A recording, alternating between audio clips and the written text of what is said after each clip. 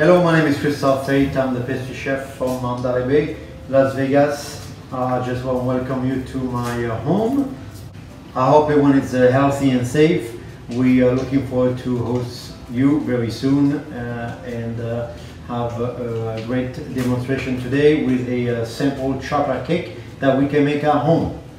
So we're going to do a uh, chocolate fondant cake, also called chocolate lava cake, depending where you are in the country. The cake is made of, of course, eggs, yolks, powdered sugar, butter, flour, and chocolate, of course. So chocolate, I would advise you a little bit and give you some tips.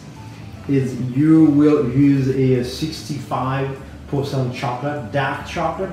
Um, it is important to use that product or even higher. Uh, that will affect you know the consistency of the cake. You can find that in store. Is a uh, small uh, chips right there, or you can have as well as a block right here, uh, right there. Can you see that, guys? And you can chop them up. Okay, we're gonna start this uh, cake. So um, we're going to uh, do one way, which always a more simple way. I use a double boiler with a pot with water and pot and uh, a bowl and pot and some water inside to have a hot and nice so we can start slowly to uh, to make the uh, uh, chocolate melting. We can use also as well with a microwave up there, but this way it's a little chance that the chocolate burn.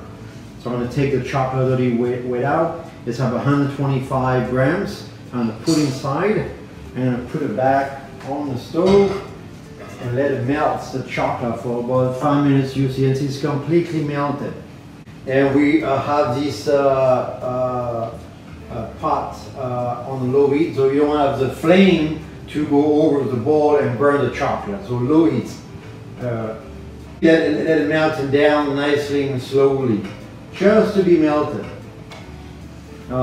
step two, we're going to take some butter, put it inside um, with the chocolate, what you want to do is that you want that to be melted as well.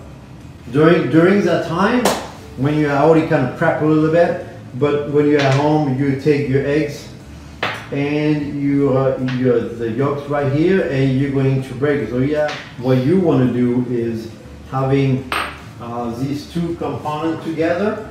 You take another bowl right here you're going to take these uh, two components, the yolks, and I get a small scraper right there. Two the yolks go inside the bowl. You're going to take, make sure you scrape very well so you don't leave any too much of the yolks inside so you don't have different recipes. You're going to take the whole eggs, put as well inside. There we go.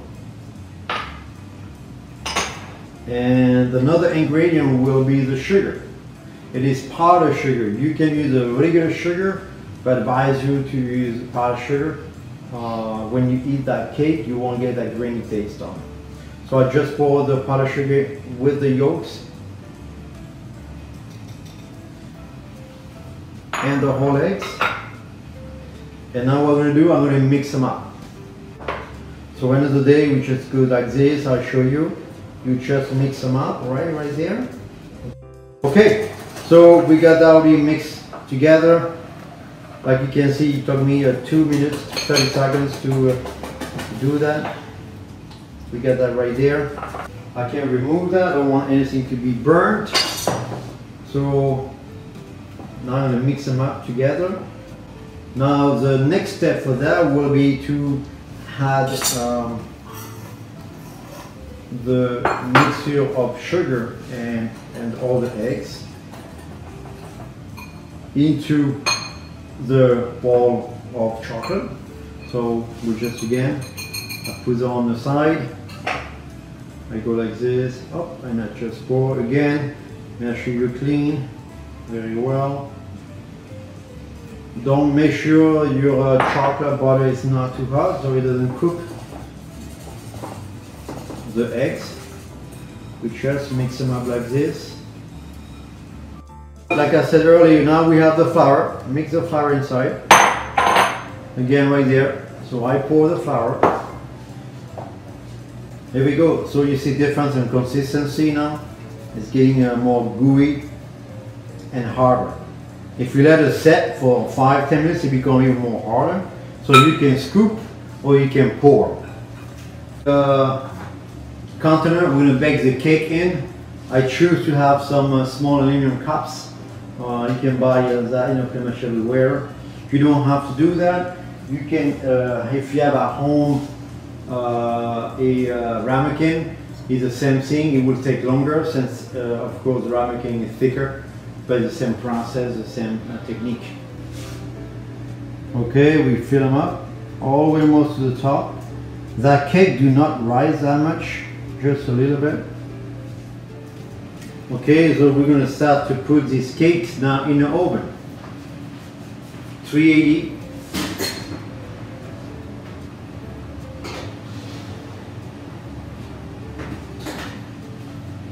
It take about 12 minutes roughly, depend the oven, depend how big is the ramekin.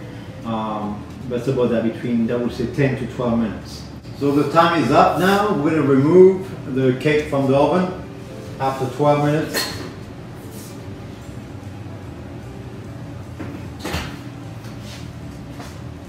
So as you can see right there, they kind of jiggling a little bit inside. Um, right there you can see right here a little bit. They are jiggling a little bit. All right. They uh, cooked. So it's about 12 minutes.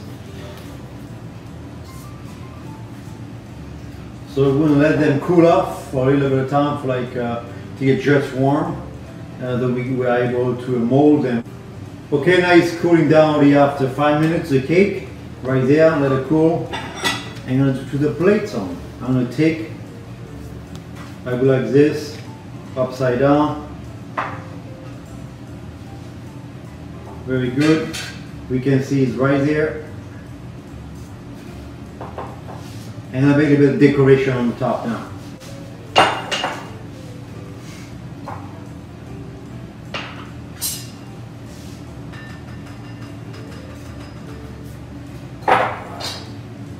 Some raspberry.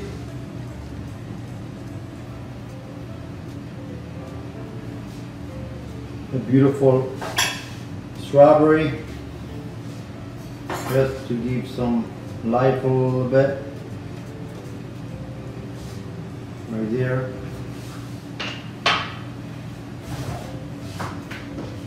And I made some whipped cream, classic whipped cream, that whipped by hands. Right there you can see it's whipped. Okay, I got the whipped cream here. I'm gonna make the quenelle. It's a type of shape. Up. Who's on the top. Just little bit of excitement. And the last surprise. All of my fridge. I made a flask of chocolate. I the uh, chocolate melted early today. I kept some on the side a little bit. And I put on a piece of parchment part of the paper, put it in the fridge. You can break it as you want, the shape you want it. And you can stick on right there. Enjoy, bon appetit.